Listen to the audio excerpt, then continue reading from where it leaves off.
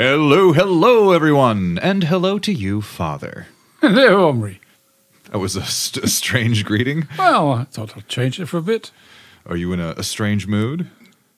Maybe I am. Maybe I'm not. Maybe I. No, no, I have to be in a. You have to be serious. I have to this be is a serious. serious thing. Okay, I mean, We're dealing with serious- something serious here. Okay. Anyway, thank you for listening. As always, if you want to support the show, you can always recommend it to a friend or leave us a review. They are most appreciated. Welcome to Spies and Lies, an espionage podcast, co hosted by me, Omri Rose, who spent his childhood living undercover thanks to his dear old dad and co host, Jason, a retired former spy master from one of the top intelligence agencies in the world. Without further ado, let's dive into today's episode The Spy You Never Saw, Melita Norwood. Do you like the title? It sounds interesting. Sounds good, right? Yeah. yeah. Did you see her? No, I didn't see her. Oh, okay.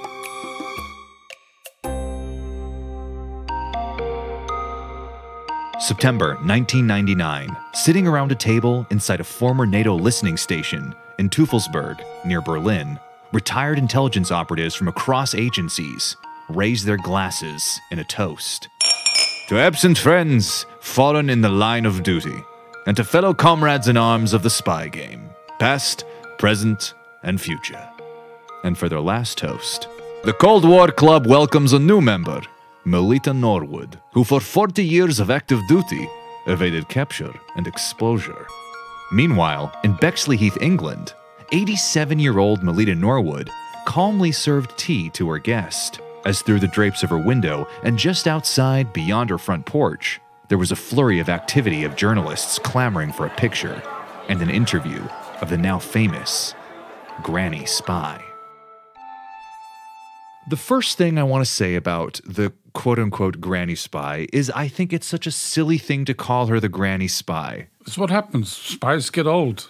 Yes, but for instance, you today, you're not the grandpa spy. You know, you did your espionage career as a young man and a middle aged man. And It's- an I old man. and an old man to some. But look, I, it's just a strange thing that they dubbed her the granny spy. I mean, they're painting this picture of like a granny doing espionage, but that's not really the case. No, it isn't. But it's a nice story. Why did you do the Russian accent in the beginning? Well, it's uh, you know former And why do former you think intelligence the, and you think the Russians would be sitting around that table? Maybe it was uh, a defector. Aha! Now that is adds a little bit of spice into the story. Yeah, you know, maybe never know. exactly. Maybe it was Gordievsky sitting around the table there. Let's see where this story brings 99, us. it could have been. Yeah, It could have been. it could have been. So, as we often do, we start in the beginning with Melita Sirnis. That's right, not Norwood yet. She was born in 1917 in Bournemouth, England. She was the daughter of a British mother and a Latvian father. Her father was a close associate of the Bolsheviks, the far left party and a political organization in Russia, who were forced to leave, ending up in England. Melita's father became the estate manager for Tolstoy's overseas literary exeter, Vladimir Chertkov, but died of tuberculosis in 1918 when Melita was six. I mention the literary circle and all this kind of stuff because it just kind of paints the background already of where Melita was growing up and what she was growing up around. Correct. It's very important to understand it. Yeah, I mean, the environment that she grew up in and the influences Yes. that she was already getting as a young girl definitely played into an effect. Norwood's mother was an English suffragette. That was the movement for women's rights to vote back in the UK. And she was also a cooperative party member, which was a center left political party in the UK established in 1917, supporting cooperative values and principles. Melita's father, in addition to his work with Tolstoy, also produced a newspaper called The Southern Worker, a labor and socialist journal. It was strongly inspired by the 1917 October Russian Revolution, and the paper also published translated works by Lenin and Trotsky. In addition, he was involved in what was known as the Tuckton House, which was basically a group of Russian expats publishing translated editions of Tolstoy's works and diaries. So, already from an intelligence point of view, if at that time, which it wasn't at that time, people were concerned about these kind of things, it would be very easy to identify this group, right? Yes, But we have to remember that Russia at that time was not an enemy. As, that's why I specified that Yes. at that time it was not an issue. It was It not on anyone's there was a and. England always welcomed uh, exiled uh, people and politicians and people, even today, from all around the world who are persecuted by their countries, and they allow them in. They don't have good extradition laws, huh? Well, well, among other things, and they, they like they prefer to live in England, and it was very common to have all sorts of people from all parts of the world who wanted to run away from the regime they were in to land in England, and communism and Russia and communism was a very popular thing in England. A lot of people lean towards it. Yeah, well, we have to remember, as always, the context and the time period. Right. This is pre-Soviet Russia, right? Correct. It, it's when these ideas are now spreading across the world. So these ideas are very appealing. You know, the, Yes. the sense of distribution of wealth and equality among people. Commun- uh, they're very beautiful, idealistic, utopian Communist ideas. parties were, were running were everywhere Yeah. in all the Western countries as well. It Yeah. wasn't a, a negative thing so much. Right. Well, because there was also no examples of it always failing, which Right. unfortunately, due to human nature, Yes. it does, as we've seen throughout history up until this point. And the ideal of communism appealed for a lot of the youngsters of Definitely. of, of like the new way of the world to be evolved. So Especially was in a place like the UK, which had a rigid, rigid class system. Yes. Um, so, yeah. Anyway, 1923, Melita won a scholarship to the Itchen Secondary School in Southampton. She became a school captain in 1928, studied Latin and logic at University College of Southampton, before dropping out in 1931. She grew to dislike the courses that her mother was suggesting for her, and instead decided to learn to ride a motorcycle and move to Paris, much to her mother's dismay. We're seeing a bit of a, a rebellious streak. Yeah, we see Paris. There's always people go to Paris for some reason. Well, again, it's the time period. I that was the popular destination in the 30s. are, Now, you, are you planning to go to Paris? no, no, thank you. Good. Uh, okay. No, I just wanted to check if you. Uh, But we do also see, you know, she she was smart, she was bright, she did well at school, but she had that rebellious streak, adventurous streak as well. All traits that are important, as we will come to see Yes. later in her life. yes. In spring of 1931, Melita's mother brought Melita and her younger sister to live in Heidelberg, Germany. She hoped that Melita would resume her studies. Instead, Melita found a new passion field hockey. Melita and her sister joining the university field hockey team. They also took part at that time in many demonstrations against the German National Socialist Party, the Nazis. They came face to face with the so called brown shirts, which were basically the Nazi paramilitary wing before they gained control and- Yes. and power in, in, not, in Germany. They apparently managed to avoid violent clashes at the time, though I'm sure things got pretty heated. And they stayed in Germany for one year before, in 1932, returning to England.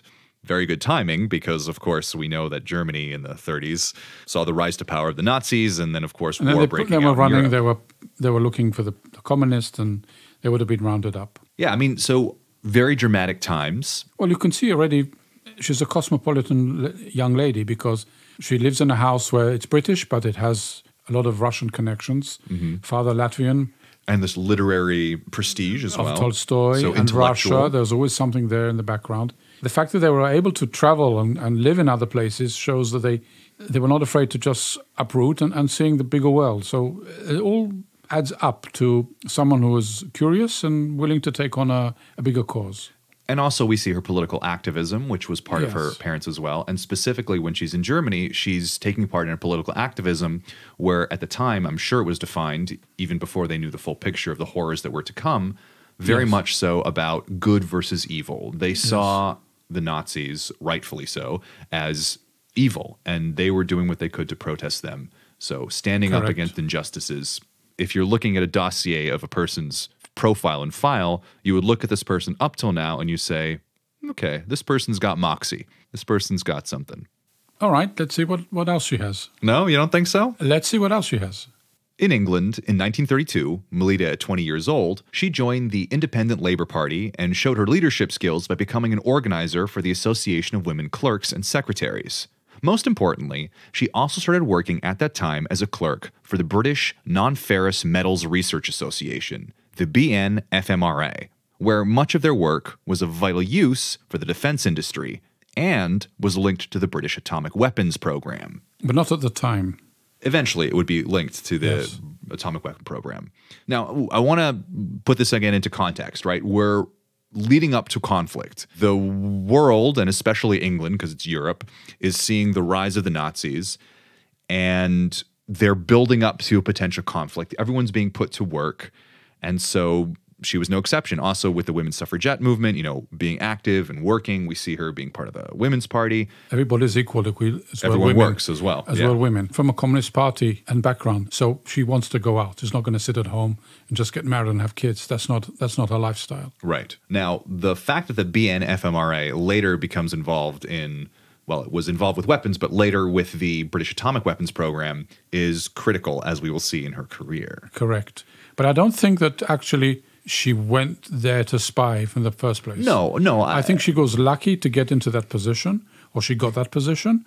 And it so happened it was a great position to be in. Exactly. I don't think she deliberately wanted to go to that position and thought that I'll be in that position and then anything I hear, I will report. I don't think that's the case. For what I saw and read, I didn't see anything to indicate that she was decided to go there for that reason. I, I would agree with you wholeheartedly. I mean, she wasn't approached by any organization at that time either to do anything. But knowing her, like I know her through the research that's been done, I would simply say that she probably saw this as an opportunity to be involved in something that took the fight to the quote unquote enemy more than becoming a secretary, let's say, in a post office.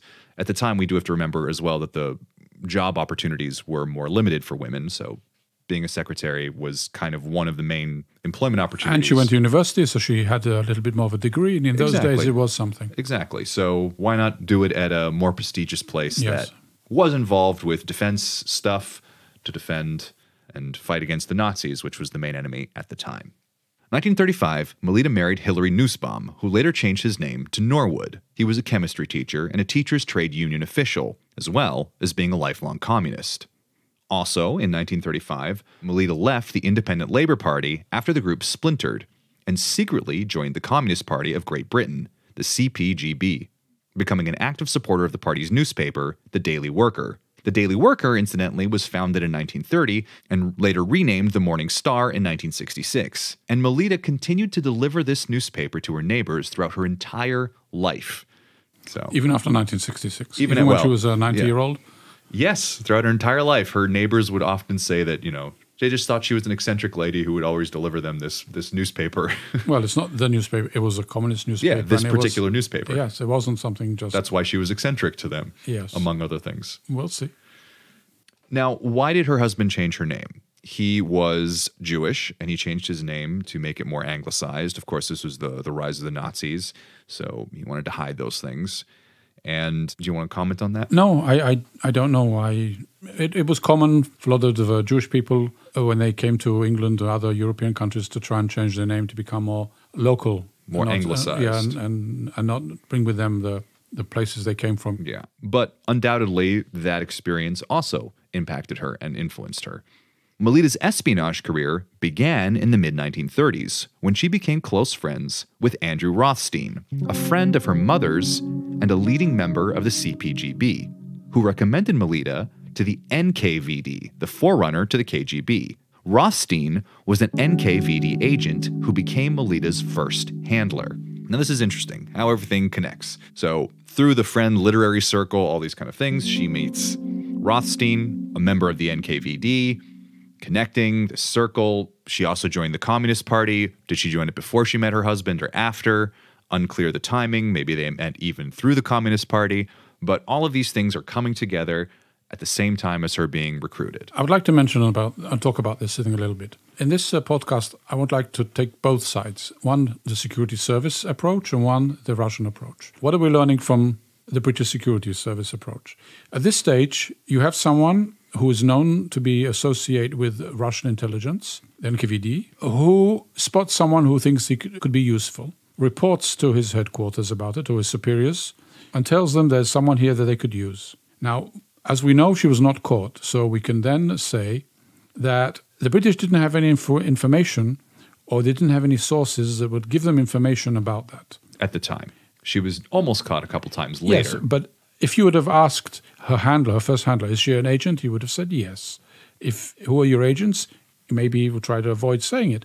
But she was an agent, but she was not exposed. So from that point of view, you would say the British was not able at that stage, that's a critical stage usually, when What, the approach is made, uh, re- being recruited. That's a very tricky situation.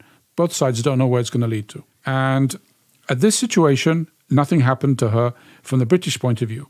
So she felt comfortable that the British are not aware of what she's doing because no one approached her or no one came to her. Number one. Then look at it from the Russian point of view. The Russians felt comfortable because they got an information that they found reliable about someone who spotted someone could be useful to them. At the time, they were not aware maybe of the abilities that she can bring to them. But he, and this is again coming to some of the other podcasts we, we, we talked about, the ability of case officers or agents or intelligence agents to find assets that could be useful is very, very important. And he spotted her. She didn't approach, she didn't come and say, knocked on the door to an embassy or went to a party and looked look, knocked, went to the Russians and said, I want to work for you. She didn't volunteer. Someone came to her. So, from the Russian point of view, they had this network, even though she was connected to the Russians or affiliated or had inspirations, she didn't actually try and do something at that stage. She, but the recruiter was easier because she liked or she felt comfortable working for someone who's connected to the Russians. Now, the British didn't approach her after she was recruited. Now, if she was recruited and someone spotted her and said something, if you had agents in the embassy or an agents running in who can tell you information, they would then come to her and say, Listen, lady, we know you've been approached, stop it, work for us, double agent, or whatever. No one came to her. That means there was Right. no, they didn't have anything. So I'm looking at that. That's from the British side. From the Russian side, they did an approach to someone. They didn't know as well if he's going to be working for them, be a double agent or not. But they had enough confidence in the spotter, you could say, her first handler. Rothstein, that- yeah. Yes, that he is bringing something that is good to the table. So that we're going to see how it goes along as the time goes by. Right. How each one looked at it in a different way. Right. Okay. So this is the situation with her. She's now working. And now another interesting thing about it, she did not change her job. She is in the same job. She wasn't asked to change her job. She didn't at the time there was not it wasn't clear how much information she knows, but she wasn't recruited and said, Okay, now go and do something else. Go and change, do something. No. You're sitting in an interesting place. You could be a good asset for us. We would like to use you. This is where it was at that stage. Right. She was made a full agent in 1937, and we always have to remember the context of the time. In Russia, they were going through a bunch of changes. They had the revolution, they had different things, the communists came into power. Okay, so that happened. Well, they came into power much earlier. They came into power much earlier, but why was the father and the why were they kicked out before? Because they weren't. So things had changed since then, right? Well, there was a change of leadership. Different, Right, uh, You know, exactly. Stalin But- came into power. Lenin wasn't around. They were supporters of Lenin. Of that generation, But Stalin more- changed a little right. bit. Uh, started to go after uh, people he didn't like. More it importantly, changed. more importantly, British intelligence was not looking for Russian Correct. spies. Correct, and that's the main thing to discuss. Right. They weren't afraid of communists at the time. No, Okay. So Melita became a full agent in 1937 at 25 years old. She became a member of the Woolwich Spy Ring, a Soviet spy ring centered on a southeast London establishment on the south bank of the River Thames, which was used to manufacture armaments and ammunition, as well as doing proofing and explosives research for the British Armed Forces. So they really wanted to know about British armaments and different things there. well, they, they wanted. They had supporters. They wanted to know everything. Now, in January of 1938, the Woolwich spy ring was busted. Three leading members were arrested and sentenced to three to six years in prison. However, the MI5 failed to identify Melita and were unaware of Melita's secret party affiliations with the CPGB. When the Woolwich spy ring was busted, Melita was saved from detention by the fact that MI5 agents in charge also didn't believe that a young female secretary was capable of being a spy. So, even though they weren't actively looking for communists, obviously because the Woolwich spy ring was directly doing things with this armaments and ammunitions area, that was a concern. The fact is that they picked up people and they only sentenced them for a relatively short period in prison. Being a communist wasn't a crime, but spying and sending information is a crime. So there's two things here. And in this case, being a supporter of the Communist Party was not a crime. So from their point of view, she was a supporter of the Communist Party, but not necessarily a spy. So They didn't know she was a member of the Communist Party, though. That was secret. All right, okay, I'll, I'll accept that.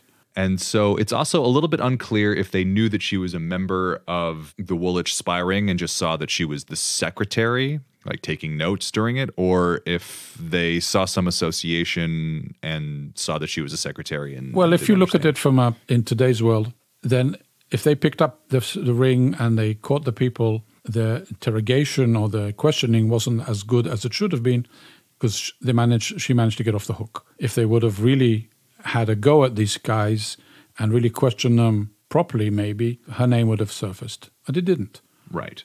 Now, at the time, in the early 1930s, British spy master Maxwell Knight was perhaps the only operative working in MI5 who believed that women made better spies than men. His most prolific agents that he recruited were all women, such as Mona Maund, who was the middle class daughter of a retired officer, codenamed M2, likely named after her handler Maxwell Knight, known as M, which, by the way, Knight is believed to be the inspiration for M in the James Bond movies. Now, Mona Maund's mission was to infiltrate the British Communist Party and pose as a typist. Mona was able to go unnoticed for the same reasons that Melita avoided detection. They were both seen as unlikely to be spies. Mona was actually the first to suspect that Melita was involved in espionage, noting her down as being suspicious as well as being a highly active member in the party, prone to long disappearances on occasion. Mona filed her report with Knight, who trusted her intuition, but when Knight briefed his superior, Jasper Harker, the report was ignored. Now, Harker was of the opinion that women could not make capable spies, and he concluded that Norwood was not worth investigating. The MI5 would only start to investigate Melita much later, even though that Knight pointed out that in the history of espionage, a high percentage of coups were conducted by women, but he was ignored. Where Knight was like an innovator and embracer of new perspectives, Harker was basically the polar opposite. Not a man that questions the status quo, and he was inflexible. Old school. Yes, he followed the accepted doctrines of the time. Spying was a male centric job. He was only a director of MI5 for one year between 1940 to 1941. Okay, let's see what happens. Ironically, another of Maxwell Knight's recruits, a woman, Olga Gray, was the one who busted the Woolwich spy ring. In Maxwell Knight's biography, M. Maxwell Knight, MI5's greatest spy master, published in 2017, it says that had Mona Maund's intelligence on Melita been heeded, it would have changed the direction of the Cold War. Interesting. Interesting. Not sure about that, but Perhaps okay. a bit of an overstatement, Yes. but uh, interesting nonetheless. Okay. He was an innovator. He hired all these spies, but she was close. She was close there. Beginning of her espionage career, maybe she wasn't so actively involved at the time then. You know, maybe she was in a lower position on the rung of the spy ladder and being more of a secretary and kind of tasting things out, but still, she was involved and she was missed. Again, we have to remember when you look at it on her job, she didn't change her job. No, she was a secretary at this uh, Yes. metals company. And and and what changed is the the nature of the position of the place she was working that made it more interesting. So Melita's NKVD handlers advised her to go on ice after the Spiring bust.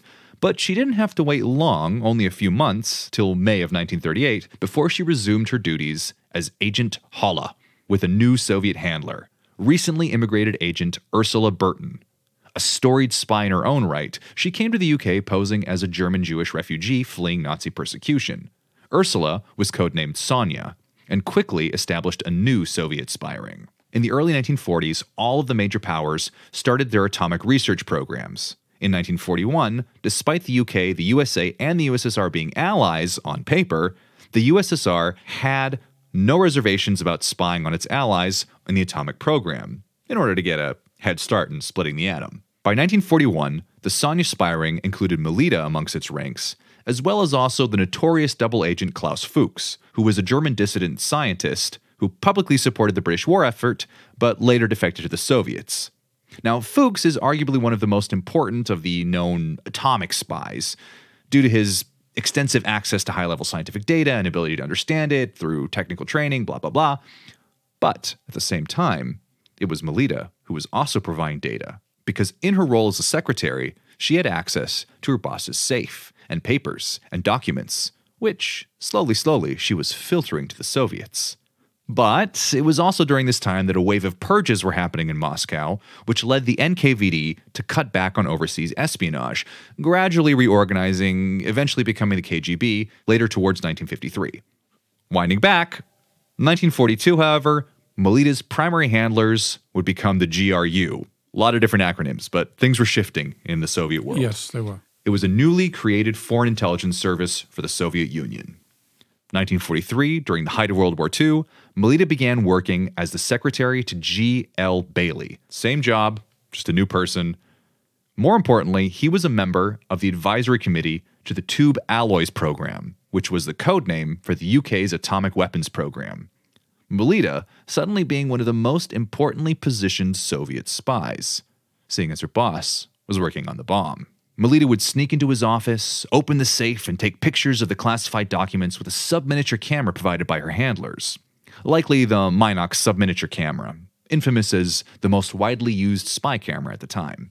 Melita would then arrange a meeting to hand the camera back to her handlers, ensuring that she never had any confidential materials or incriminating evidence for very long.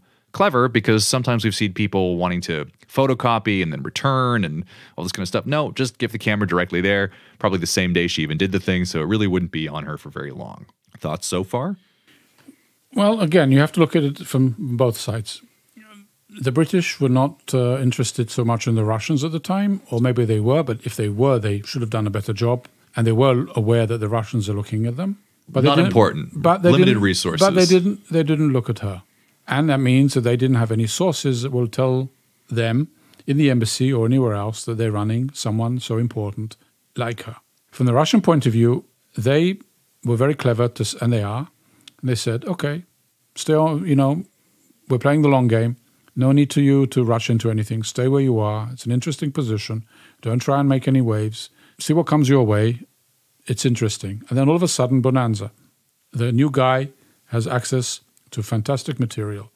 Now, the fact that he is able that he has this material is acceptable. The fact that he his secretary can go in and out of the safe, that is not so good. He was not aware of it, and I'm sure no one else was aware of it. Now, if you look at it, you, you we're going to get to it later. I mean, why wasn't she caught before? But just let's say, look at this from a different perspective. When did she start working She started working in in that office? in, the office in, in uh, in 1930 32, I think it was. Now, she started to work before the Second World War, and she's like already 10 years. She's a 10 year veteran in the office.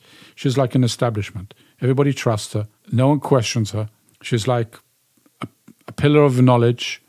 People rely on her, and she's not looking to do promotion. She's not interested to do anything dramatic. And, um, and most important, there was no vetting. So no one actually have ever wanted to check on her to see what she's up to. Why bother? Why need? Why need? Once you're already in somewhere, it's a lot harder to check depends. someone. Well, when this guy came into position, the, the if in today's world he would have gone through vetting and his documents would have been secured, or anyone who touches the documents would have been vetted. But that wasn't the case at the time. I'm going to challenge you here, okay? In today's world, if you're working in an organization that handles secret information, okay? Yes. And someone has already been working there for X amount of years, almost 10 years, and she's assigned to you, you assume that she's already been vetted. Just because she's now working for you as a secretary doesn't necessarily mean that you would go through another round of vetting. if It's you the are same organization. every if you're working for an industry that deals with secrets, there's always someone who's responsible for security. right. and safety, or safety and security, or or keeping the material secret. That person would know if someone is uh, needs to be vetted or not, or had a special second look at him. Especially when she was not hiding the fact that she was a communist. Okay, she didn't openly say so, but she was delivering communist papers every morning. Okay, it wasn't so difficult to find out. That's the funny thing. It wasn't hard to find out. Yeah, so But, uh, you can but deliver remember- communist papers without being a member of the Communist Party. No, okay. And they didn't know she was a member of the Communist Party, Well, apparently. uh, she, no one looked at her. That was the thing. No one looked She at her. She was a spy you never saw. Exactly. No one looked at her. And not only that, um, there was no need to at that stage Right, because the Russians weren't the enemy. not Everyone the was enemy. focused on, on get defeating the German Nazis. Right. Now, just we did three episodes on Juan Pujol. This is the same time period as Juan Pujol. Yes. MI5, same organization. Yes. They're all of their resources and manpower are doing things like that. Yes. You know, you're going to worry about this. You know, but a nuclear, maybe even a nuclear that's maybe in the planning, you know, it's really far, far away from the mainstream as it is today. right. It, it's interesting how the British were so effective in stopping Nazi spies because that was what their focus was, but the the Russian infiltration was far more. because it wasn't on the focus at the time. Yeah, I mean the Cambridge Five was also the Yes. same time, so it's uh, yeah. Yeah. Well, I guess the, the the Russians were always clever in their recruiting and the way they ran things. Let's see what happens. In 1945, Melita shared documents to the GRU described as being of great interest and of value contribution to the development of work in this field. KGB recording that Melita was a committed, reliable, and disciplined agent, striving to be of the utmost assistance. The information she supplied on the behavior of uranium at high temperatures permitted the Soviet Union to test their atomic bomb four years earlier than the UK and US intelligence services thought possible. So they say, anyway. I can believe that because basically what you're looking for, especially at GRU, was to shortcut your time that you have to spend on research. Absolutely. And if someone else does the research for you and, and you get all the information, you have it in front of you, you don't have to go through all the all the obstacles that they did. So you shorten the time, saves manpower, saves uh, energy, saves uh, resources. And this That's is what- all of V- Vladimir Vetrov's stuff was about. exactly. Yes. about. Uh, the the intelligence That's why how important it industry. is. Yeah, save a lot of time and money. Save yourself four years. That's huge. Yes. A lot of money. As World War II ended and things morphed into the Cold War, the MI5 became increasingly aware and um, suspicious of suspected enemy agents from the Soviet bloc. Twice in 1947, British counterintelligence questioned Ursula Beurton, the Sonia spy ring's leader. On both occasions, they felt they didn't have enough hard evidence to do anything. However, Ursula, knowing it was only a matter of time before she was exposed, escaped to East Germany. Her star agent, Klaus Fuchs, was less lucky or less skilled and was arrested in 1950. Now, this is a big shift because when World War II ended and the Cold War began, the whole intelligence situation It shifted. There was a new enemy. There was a new, new look. Intelligence organizations need a target. They need something to do. right. And Nazis are over. Okay, what do we do now, guys? Who's the Who- next Who's the next enemy? The what we need to who needs to take care of? But uh, also, going back to season one, we have someone like Gouzenko in Canada who Yes. reveals the extent Correct. of the Soviet infiltration, specifically in the nuclear field, but just in general. Even before the West even knew they had to worry about it. Exactly, exactly. And so suddenly, not only did they realize, first of all, they needed a new target, but more than that, they realized that their new target was way ahead of them. Correct. So they had to catch up Yes. and they had to, And that's why Ursula had to leave. Yeah. Because she had assets that they didn't want her exposed. so for instance, she was questioned twice, but they didn't have enough hard evidence to do anything about it. That's a failure of intelligence, I would say. Why are you questioning her twice before you can actually do anything about it? We've talked about the idea of sitting on intelligence before. Why would they act? What would they have to Well- gain on sitting on her then? Well, Trying to get a confession? Well, no, I would look at it in a different way. They, they, they know she's up to something. They know they don't have maybe the resources to find it out, but maybe it's better to remove her from the arena, and by So giving they wanted her gone. yeah, Showing that they were onto her, but they didn't know Yeah. exactly what. They said, okay, let's disrupt whatever she's doing. Let's disrupt it. We know she's up to no good. We we have. It's more difficult for us to find out who she's in touch with or what's going on, for different reasons. We don't know.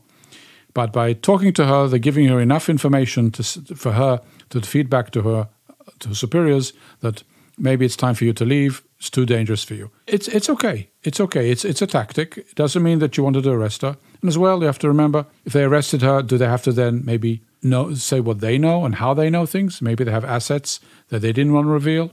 We don't know that. If they would have known that she was an asset, such an important asset, and giving information, they would have done something about it. So I don't think they had huge assets, but maybe maybe Ostelan's name came up from uh, from the Canadians through the Canadian Right. connection, and they're saying, "Oh, her networks," and they started to look at it because they didn't know anything, and then they went to her because they had to, and then they warned her, "Listen, we know about you." Da, da, I mean, the da, da." farewell dossier, Vetrov And, also yes, provided and, uh, information. yeah, and then they on- decided. yeah. Then so That was later, though. So they left. So she left, and then they say, "Okay, who's who's going to be next?" Then it's easier to find out who replaces her. Also, it's interesting. Maybe they used it to to smoke them out. You know, if If they Yeah. put pressure and then she, you see who else runs. Yes. And if other people are running, then Well, if they're running, that means they're not no longer around. If they're no longer around, they're not so much of a threat. Right. Well, as the Soviet spying melted around her faster than a snowman in July, Melita received orders to go on ice for a second time. By 1951, however, she resumed her espionage activities with additional Cold War precautions. So when did she? When did Ursula leave? What year? She was twice questioned in 1947, and then she left, and then Klaus Fuchs was arrested in 1950. I'm not sure exactly when Ursula. So she was. She they put her on ice for some years. maybe some years, Clever. less That's amount of time, one year, Yeah. most amount of time, four years. That's again long time thinking. right. Soviets are very good at that. Yes. They were very good at uh, Yes. at uh, the long term, The long the game. long game. Yes. Yes. They don't have to give as many receipts, or easier for them to justify their receipts. They gave receipts, but uh, it took a long time to get to the headquarters. However, as I said, by 1951, Melita was back in business with additional Cold War precautions. On the surface, she would live a quiet, uneventful family suburban life, but beneath this, there would be a different story. Melita was incredibly adept at stealing, acquiring, or copying sensitive scientific material and getting that information into the hands of the GRU agents who she was working with. She always maintained a low profile, limiting her deliveries to four or five times a year, normally handoffs in the suburbs of southeast London, through the favored method of a dead drop or a swipe. Now that's Four- very clever. Four or Should- five times a year. Compare that to Vetrov, who we, we talked about earlier this season, who so much information so fast and was hard to process and also very dangerous. Less exposure, less threat. Now, if you think about it as well, look, what kind of information she would have? The information is not something that comes in every day. There's some new information. Right. Scientific developments. Scientific developments, research uh, This is already programs. post atomic. it's post-atomic, okay, but still, how much new stuff that makes you need to have a meeting once a week or once a month? Yeah. Not that much. Not that much. It's not necessary. But anytime there's needed an update or there's something new, she was able to bring this information. The information was things that she heard, not so much, more things that she read or took from the boss. I don't even know if she read the stuff too much because it was about being fast and undetected. So, you know, well, take she a picture, a picture. take a picture, take she a picture, doesn't maybe leave. know. Yes, but Because she, was also doesn't just- understand Well, necessarily. No, no, correct, but she knows if it's top secret or Right, she secret. knows and- if it's and she seemingly has to uh, file it or type something or response to it because Mm-hmm. that's what she had to do because she was the the loyal secretary. Right. So she would know all about it. So she had it. Now, four or five times a year. I don't know how many years she did that, but Many it's, years. many years. That's perfect because the places she chose were something that were made sense. Uh, dead letter boxes or means the places where she wasn't, she could drop it off and someone would take it. Not necessarily Yeah, have so, so explain the dead drop and the swipe. Well, dead letter box is a place that you can decide that uh, that's agreed on on both sides that you drop something off, someone else picks it up. There's no physical contact between the people. Okay, let's say a mailbox, a PO box somewhere. No, No? not necessarily. It could be a park, could be uh Ah. uh, something uh, in a bench, uh, some hole in a bench, or I see. something uh, a tree that's uh, hollow with or something. It could be all sorts of places that. But it wouldn't be something like a post box. It could be, but then you have a Too key. you, eyes. you have a key. Why? Why do you want a key? It connects you. I mean, Right. What you you want something that doesn't connect you to the other person. Okay. And if there's, I mean, it's if it's a PO box, then if someone knows about it, someone could surveillance on the PO Right. Box, and then you see it, and then you see what it's all about. Mm-hmm. Now, the swipe, if they, if I understand what they mean, is that you know one person has a briefcase, another has a briefcase, and as you saw in the films, they they pass it to each other, or they pass it by physically seeing each other and then having a quick switch.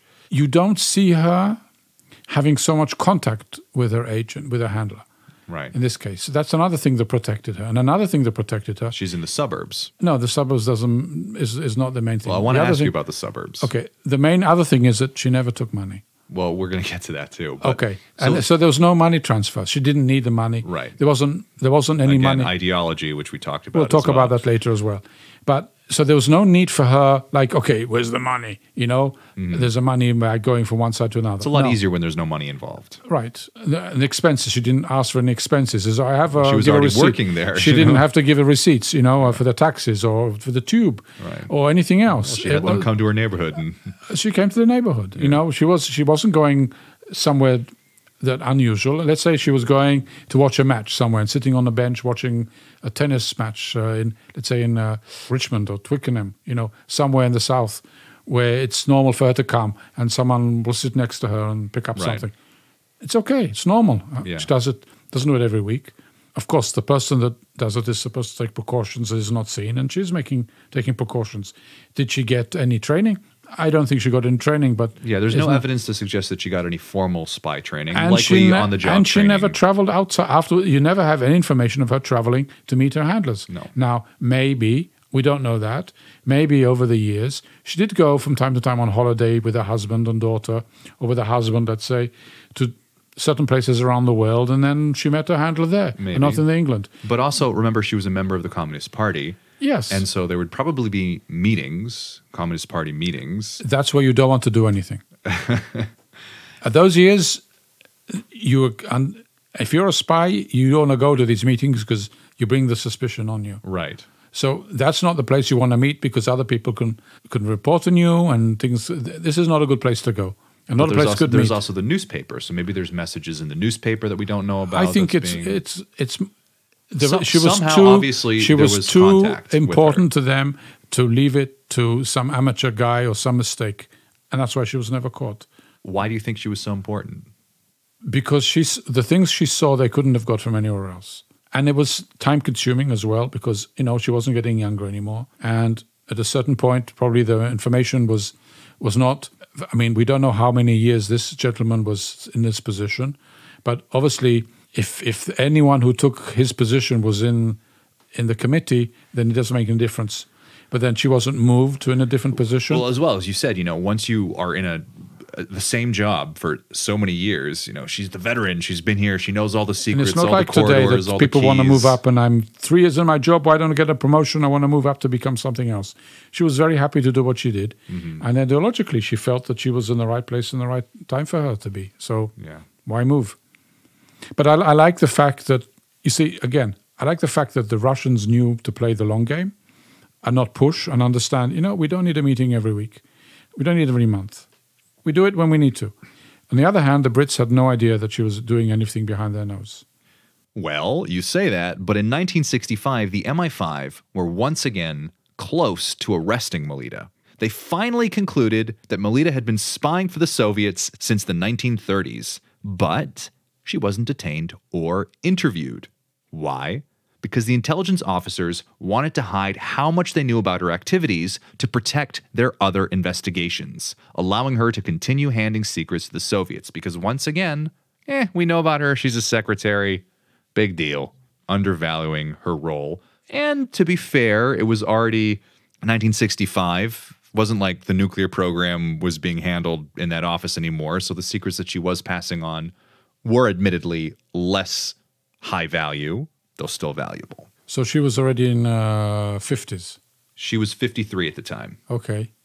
We've talked about sitting on information before. So you have this spy that you know has been spying on you since the 1930s. Why don't you act? Protect your other investigations? What other investigations? Because maybe, as we know as well in the history, that they had other bigger fish they wanted to catch that were working for the Russians. and so and the Russians would have been spooked if one of their people was caught. It means that they, the British had an understanding of what was going on and they will start doing investigations. And as you mentioned when you, you read it earlier, when you were talking about it earlier, they wanted to protect other assets that they had. Now, what does mean other assets? That means that if you reveal that you know her, then the Russians will start and you investigate and you bring her in for questioning. Then obviously they'll say, okay, where's the leak? Where's the leak coming from? It can only come from two places, or from London or from Russia. Now, if they have someone in Russia, would it's worth the risk? No. If it's someone in London and is giving them information about what's going on and is giving them information about current activity of the Russians, and not of someone who worked 30 years already and okay, she's not in the House of Parliament, she's not in the military, she's not a. So they, okay, all right. so Ah, she's a secretary at she some the metals company, She worked. Uh, she worked for the Communist Party. She's a communist. All right, what what she, what can she what does she know already? All right, okay, let's put an eye on her, but let's not make any waves. Mm-hmm. It it it makes sense. Makes sense. Mm-hmm. In the mid 1960s, Melita, however, graduated from recruited to recruiter, enlisting the services of a civil servant codenamed Hunt.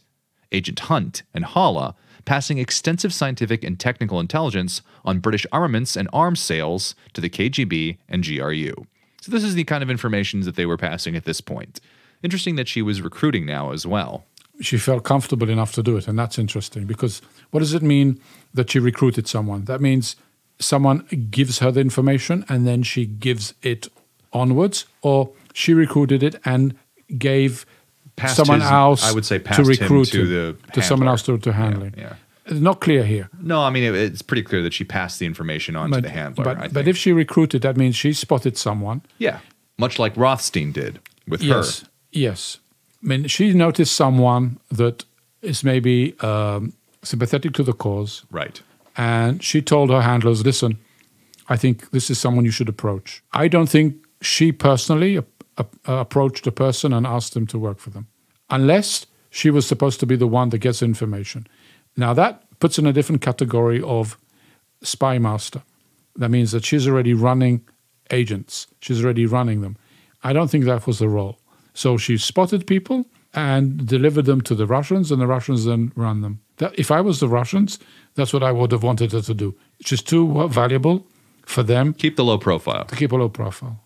Well, in 1958, before she was recruiting, she was awarded the Order of the Red Banner by the KGB.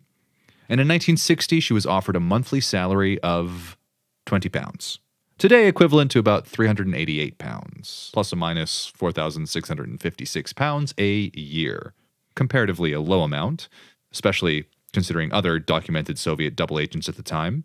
Some offered five times as much, but Melita was never interested in the money, and she refused the salary, obviously, much to the benefit of her secrecy. She later said to the BBC after her exposure, I did what I did, not to make money, but to help prevent the defeat of a new system which had, at great cost, given ordinary people food and fares which they could afford, a good education, and a health service. I thought, perhaps, what I had access to might be useful in helping Russia to keep abreast of Britain, America, and Germany. In general, I do not agree with spying against one's country. It's harder to catch without money being uh, passed along. Not necessarily, but in this case, it's easier to run an agent because you you don't have to. His loyalty is, is to you, and uh, the loyalty is is a lot of it is in words. You can buy it by words. You're doing good for the motherland. Your mother, you're doing good for the for for the cause. These are the things they want to hear. Uh, we're giving you a medal of honor for what you're doing Exactly. you don't need more than that. I mean, you're not to say, I, I want, you don't have a meeting, oh, okay, I want 500 for this and I want 800. No, you start bargaining about it. Of course, she also never went to Russia. As far as we know, she didn't and she shouldn't have. And probably she never did. No, but what I'm saying is, so all of the stories that she said, all of her quotes about, you know, bringing food and fares and education and health service. I mean, that's, I won't say it's That's naive. fantasy. It's, it's the, that It's was the the, time. That It's was what they're the- putting in the newspaper. Ideologically, Yeah. she felt that this is what she, she grew up on it. She, from childhood, she grew up on, on the idealism of communism. Mm-hmm. The, the, the idealism of communism that she grew up with was not in Russia anymore. But never mind, it was in her mind. yeah. And, And she in believed those in newspapers she was distributing every day, Of course. every week. And they believed it. yeah. Yeah. So you're not, so you're saying it's not harder to catch someone if there's uh, no money involved? It is not harder. Yeah. I, I would say it's, It's- harder because it's one less component that you can I am follow. saying it's harder to Yeah. catch someone. Yes. It's not a matter of catching. There's one less thing that you have to worry about. Exactly. Because money, money, money smells. Mo Okay. money, mo problem. It leaves a trail. Interestingly, in 1958, Melita joined the campaign for nuclear disarmament and became a lifelong advocate. She believed in it. Yeah. Look, she was an idealist. That's Yes. very apparent in, in everything in her life that she Yes. was a big idealist. Yes. And she didn't see contradiction in both of them. Nope, not at all. Let Nor did- everybody have it, and therefore no one will use it. nor did she see contradiction in what she said that she does not agree with spying against one's country, but felt that she wasn't spying against the country because it was because she believed Simply in Russia. leveling the playing field. For her, she, she thought that by doing that, I don't want to go into uh, what she thought, but I can assume that she believed that if everybody has the same the same information, that one deters the other, and therefore you you maintain peace. And she believed that the Soviet Union Yes. was a glorious place that she Yes. wanted to help as well. Exactly. Doing good. Yes. 1973, after 30 odd years of service, Melita at 61 decided to retire both from her work at the BNFMRA and her covert work. To some, she was a spy that was considered as the most important female agent in KGB history. She was also the longest serving of all spies in Britain, and at that point was also a retired grandmother. Great. I mean, how many nice stories you have about people retiring without being caught and doing their work and managing to do what you had to do. I- I think it's a bit of a stretch to say that she was the most important female agent in KGB history, though. She had a, I would say, she was working in the most interesting times to be a spy in the era where things were happening, where alliances were shifting. Yes. and she was able to stay under the surface without being found out. And probably she had so many handlers that probably the last handler that handled her was born after she was born. Um, probably, probably, but that doesn't make her the most important. Really, bottom line is the information she brought. By and large, the largest thing was speeding up the nuclear process by four years. If you can attribute that solely to her, okay. You could attribute it to also other sources. Yes. I mean, I, I just correct myself, not born after she was born, but when he was born, she was already working as an agent. Yeah, yeah, yeah. But you know, it, it. I just think it's a little bit of an exaggeration. I'm not saying that she didn't do very interesting things and that she was very successful in what she did, but I mean, they had a lot of important spies. They did. They did. But how did people find out that she was a spy? Well, November 1992, former Soviet operative and archivist Vasily Mitrokhin defected to the West, bringing thousands of documents smuggled from the KGB. After finally going over the information with and debriefing Western allies, the MI6 allowed its publication. Late in 1995, Mitrokhin was introduced to an official historian of the MI5, Christopher Andrew, and together they worked till 1999 compiling the information before publishing the Mitrokhin Archive. The year before, in 1998, the British Home Secretary Jack Straw was informed for the first time of Melita Norwood's role, and he consulted the security services and the Attorney General on whether to prosecute. In April of 1999, a decision was reached. No action would be taken against Agent Hola due to her age, and that 26 years had passed since her retirement as a spy. They also considered the consequences of a public trial, exposing the embarrassing past failures of MI5. The whole time, Melita was unaware of the debate surrounding her. And then finally, in September of 1999, the papers were published, her name leaking.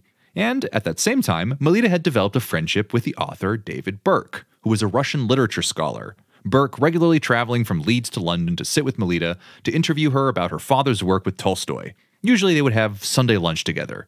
Melita serving him tea in Che Guevara mugs. How quaint. Lovely. Lovely.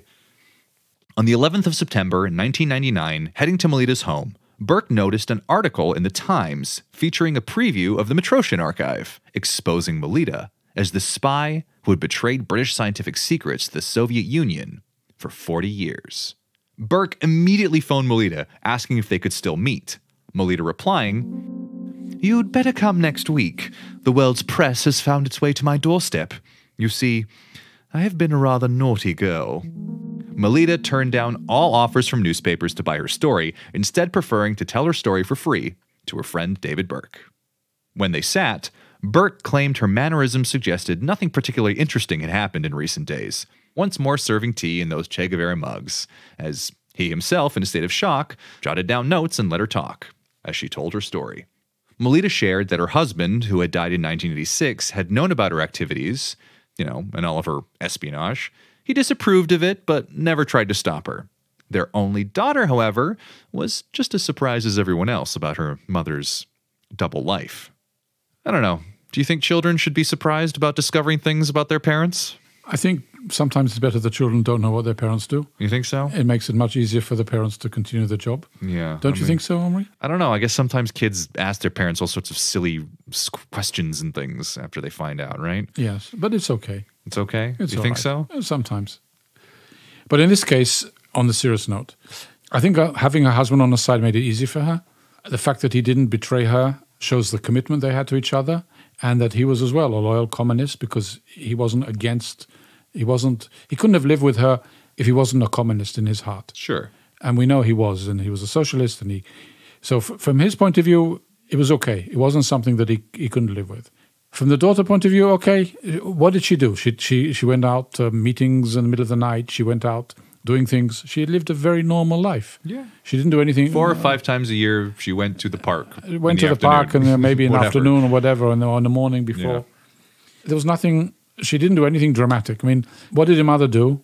She worked in, uh, in a government in a, in a Government office. government office for 40 years, got a, finished with a pension, had a handshake, got the money, and off she went. What I liked about the ending as well is that she sold her story for nothing. That she could have said, you know what, for all the all the time that my uh, that I worked, this is the time I could make a, uh, some money on the book, and will and she would have been a bestseller, and she would have made a lot of money. But she didn't even want to take any money for it. Yeah. Now, because she was to her idolatrous. friend. Yeah. now she could have said, "You know what? I'll take the money and I'll I'll donate it or I'll do something." But it shows the commitment that, from her point of view, it was a hundred percent commitment to the cause, and she was happy to do it. She didn't feel, and she said, "Yes, I was a naughty girl. I like that. I was a naughty girl. uh, I did something naughty, but it was the British, terribly British, very yes. terribly British. So she was British, but she was British with the ideology of the communist, the old communists as they used to be in the old days, where they were really, really committed to the cause. No, she, she uh, believed it. Yes. Again, if you look, how was she discovered? Not because of MI5 were able to find out through their sources. Well, I mean, they did discover earlier, but Yes, but she was exposed she was exposed because, because, someone Mitrokhin actually paper. came and, and put it in their face. Look, she was a, a Russian Right. asset and she good, had good information. So they had to do something about it. Right. Now, the Minister of, uh, in, I think, uh, Interior, uh, Jack Straw, uh, in the end had to make a decision. So you prosecute an 80 year old woman, what do you want to do? You're going to put her in prison for 10 years, five years, and you expose what? And then you have to bring all the old people up. And then, you know what? Sometimes you lose, sometimes you win. She got away. Good luck to her. Yeah, Thank you. yeah. The thing is, do they know how much information she gave? And that uh, I think they will never know. On June 2nd, 2005, Melita passed away at New Cross Hospital in Wolverhampton. She was 93. Some intelligence analysts have questioned how effective and important Melita was, some arguing that Soviet research may have already possessed the so called secrets that she delivered. Mitrokhin's papers, however, acknowledge that Agent Hola was held in high esteem by Moscow. So much so that the KGB and the GRU apparently frequently argued on who should handle her. Agency infighting, huh? Always. Because it's important. Why is it important to fight? No, it's important because each one brings a different attitude and a different way of handling it. You know, the GRU were looking at maybe the long run. They, they were, it's more technical, um, maybe less maybe, penetrated. right. KGB maybe more brutal, more ruthless, more brutal, but then maybe more more in the eyes of the British. Right. And every operative who's going to run around trying to recruit someone or be in co- contact with someone had more chances that he will be exposed. So it's not just rivalry who will recruit her, who will run her, but what How- kind of how how, to do run. it the best way. And in this case, I think it was the right thing. They whoever ran her ran her well. Give them you- credit when the credit is deserved. And if you want to hear how you don't run an agent, listen to the farewell episode. As as you could say so, yes. It's said that the KGB even considered Melita to be more valuable than the famous Cambridge Five, the British double agents, who, from Western point of view, were regarded as some of the most dangerous double agents in espionage history. Yet it's said that the KGB placed Melita's value over them. Mitrokhin's files even showing that the Cambridge Five were seen by handlers as hopeless drunks incapable of keeping secrets. Now, when the Soviets see you as hopeless drunks, you know it's got to be bad, right? Yes, and um, there's something else here that you, you you could say about her. having her not caught is part of the myth, and you could say that this is one of the the nice things about it. The the you know the the Cambridge Five, as they want to call them, or or other ones that got caught. They got caught because something went wrong. But Right. when you when someone gets away and manages to stay for that long undetected, you feel proud as an organization that you're able to do it. And I think it showed them that they can have success even in the UK for so long. And that for them was a success Right. more than the actual intelligence that she brought. Yeah. Unfortunately, the greatest spy in history we'll never get to do an episode on because we'll never know they were. And you're talking about I don't know because we'll never know they were a spy. I don't know what you're talking about. I'm just saying in general that like yes, but who knows who was a spy because there's never no one knows who's a spy. but the best spies are the ones that, you know, we would never know and we'll never know and we'll never know their life story. you know? right. You for instance, No. if you were caught and something bad happened, you know, your story would be out there. We'd know at least the operation in which you were caught on. Thankfully, that never happened, you know, so you're a great spy. You managed to survive. No comment? No comment. Would Melita, or why would Melita be considered a superstar spy? because she knew what she wanted. She knew not to go to uh, to get to places she couldn't get. She positioned herself in the right place in the right time, and she didn't try and push herself to do more things than she needed to. And she kept very humble. And she didn't take money. And she, one sort of thing, she didn't take money, but eh, that's part of being humble. Right. But the thing is, when you have someone 30 years in the same job doing the same thing, you don't expect it to be a spy unless it's a very important position. If you're the chief of army, you know, okay, thank you very much. But a secretary working for a, a metal company, you didn't think that would be the most important thing.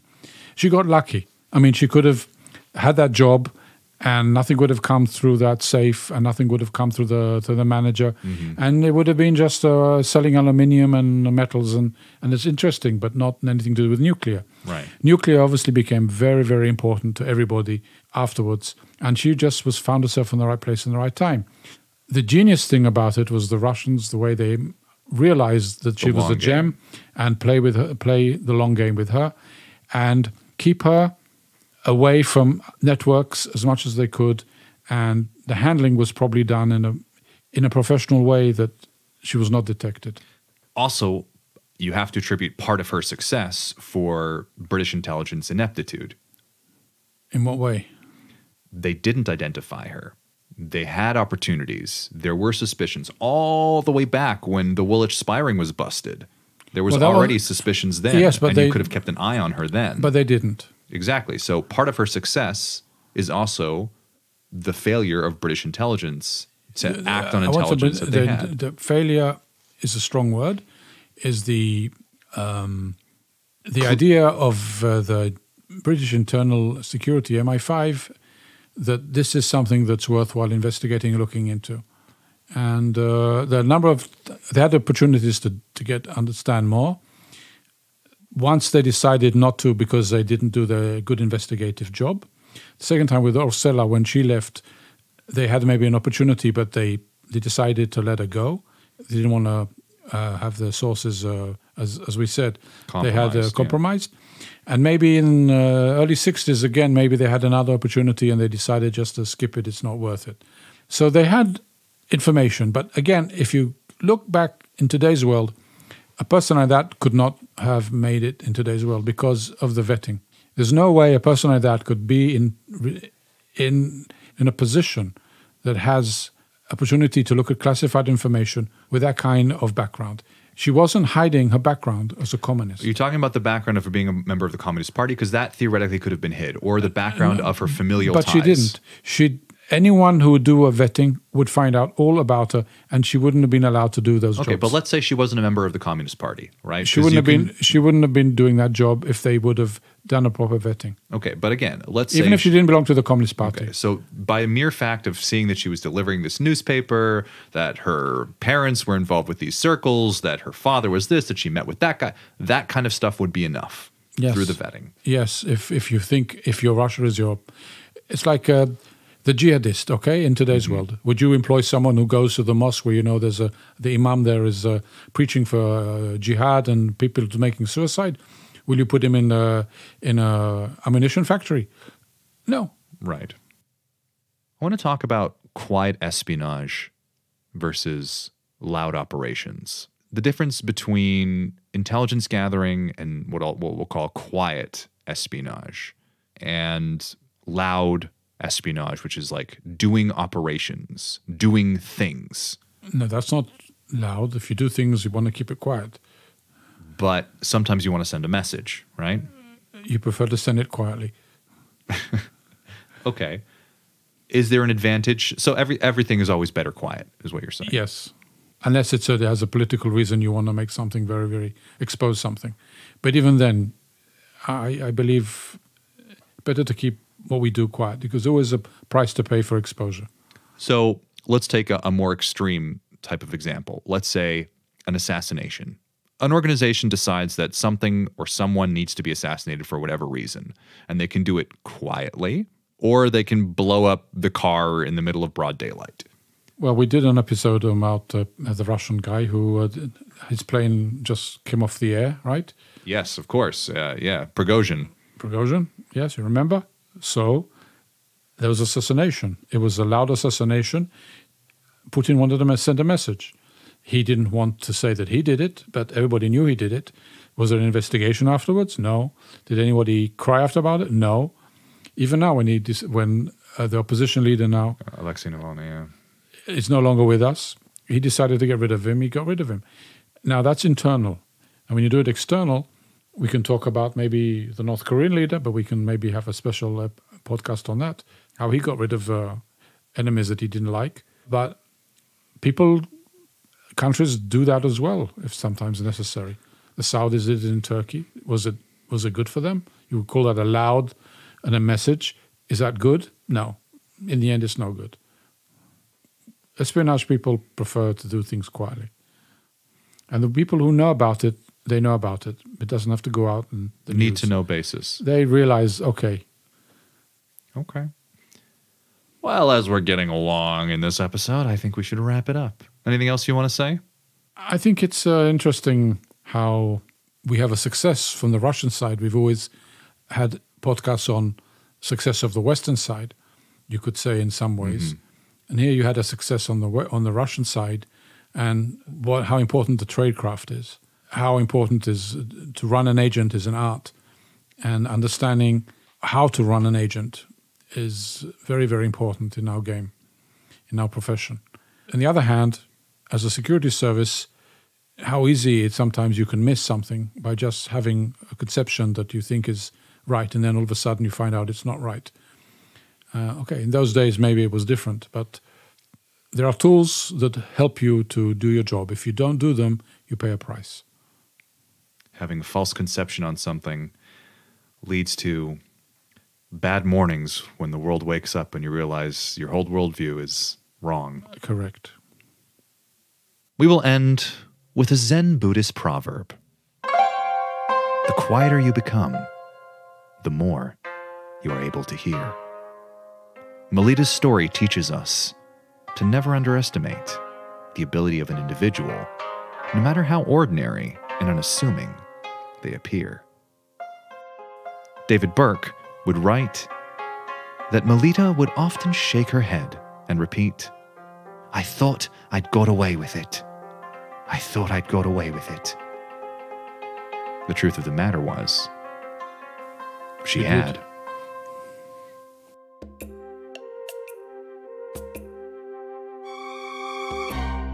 This was Spies and Lies. Thanks for listening, and remember, If you see an old woman, she might have been an old spy. or a young spy. You never know. Spies and Lies is a Grumpy Golem production, with original scoring and mastering by Julian Dussault. If you enjoyed listening, don't forget to share with your friends and leave a comment or review wherever you listen from. It really does help. And if you want, you can check out our Facebook page and write us there. If you have any questions or subjects you'd like for my father and I to cover, drop us a message, and we'll do our best to get back to you. Special thanks to Julian Dobrev, who conducted research for the episode. Until next time.